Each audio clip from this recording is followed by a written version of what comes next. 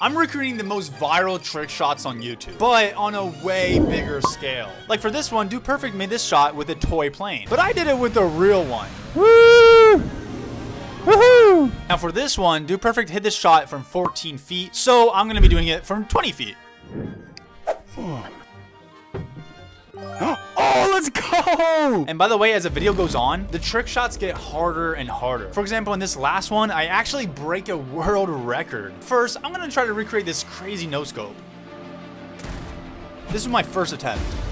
Hop it off. Oh, where's my gun? Ugh!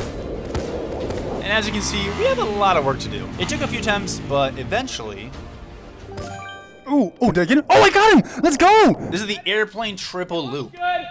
It feels good. I'm taking this trick shot to a whole other level by actually flying a plane into the loops. Now I found this map with one nice loop, but building the other one just took forever. This is what I managed to get and it's actually pretty small. The airplane can just barely get through. Turn, turn, turn, turn. I don't want to crash this time. Let's go through the third one. Woohoo! Next up is a stair step shot. Now I decided to take this trick shot to a whole other level by actually like building these massive platforms and starting at the top of this like 20 story building. I gotta be honest, setting up this trick shot took forever because getting these platforms right takes a while. Don't let him just be so annoying sometimes too. But the actual shot can't be that hard, right? I was getting so confused why it wasn't going in. So I decided to throw the ball and actually follow it. And then this happened. Wait, did I just make it? The next trick shot is a ping pong bottle flip. And I actually have the perfect accessory for this trick shot. This is a ping pong paddle. There's a lot of weird accessories for the Quest 2. Like this fishing rod, for example. But go watch a video where I showcase just the weirdest VR accessories. Now I have to slide it in here. The only thing is that if I want to use this thing, I have to let go. So I'm going to try to constrain it to my hand. Look at that. I decided I should practice flipping the bottle first, and I managed to get this. Doink, right on my head. With such a good start, I thought I should hit it easily, but it actually took me ages. Finally, after all the mind-numbing effort, I managed to hit this clip. Come on, come on.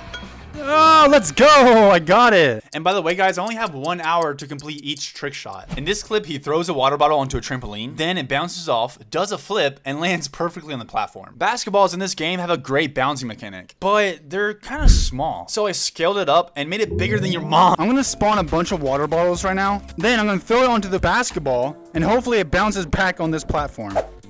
Whoa! Like that, and it should land. Uh, no. The reason I think this shot is actually harder than Dude Perfect's shot is because first, everything is at a much bigger scale. And since the basketball is so much bigger, there's a lot more room for error. And I had to throw the bottle in an exact spot if I wanted to hit this trick. And that's why I was so excited when this happened. We go? Wow, that's so high. oh! Let's go! Next up is a ping pong wall bounce. This shot might look easy at first, Oh! Wow, that's not even that bad. I thought it would be like impossible, but it's looking really possible actually. but it's actually way harder than what it looks. After so many fails, this happened. Yeah, exactly. Right there, right there, right there. Come on. Oh! I was starting to get a bit worried, thinking this trick shot is going to be impossible, especially because I'm running out of time. But then,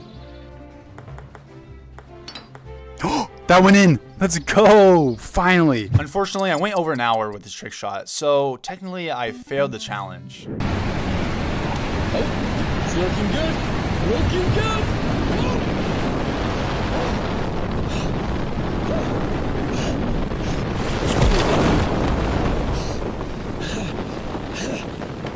Oh, it's making the green. It's looking good. Come on, come on. This video is obviously fake, but I'm going to do it for real. Well, I guess it's not, you know, it's not actually real, but you get the point. Oh. That wasn't that bad at all. This is gonna be really tough. There's no way I'm making this. So after 30 long minutes, I decided to throw in the towel and give up. There's just no way. With the ping pong ball just not responding properly. This is the world's highest basketball shot.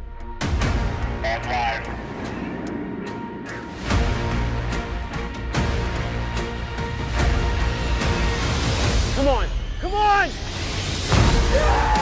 Now, I've done a lot of things on this channel, like playing VR in a moving truck, on a plane, and pouring water on my headset. But I gotta say, this trick shot is one of the coolest things I've ever done. That's because I'm breaking a world record here. Dude Perfect made the shot from 856 feet on the Las Vegas Tower. And if made, this shot would be from 1,080 feet which by the way is exact height of the Eiffel Tower. Dude Perfect took about like three days to do this trick shot, so this is probably gonna take a long time for me as well. The only difference is that for me, there's no wind, obviously. I just have a lot more control. To give you perspective on how high up I am, the ball takes over 10 seconds to fall on the ground. I realized if I wanted to increase my odds of making it, I just had to throw as many shots as possible. Eventually, one will go in, right? Guys, I got nine minutes left. Come on, I gotta do this. Can I make it? Will I make it? I don't know. I am getting pretty close. After way too many attempts, this happened.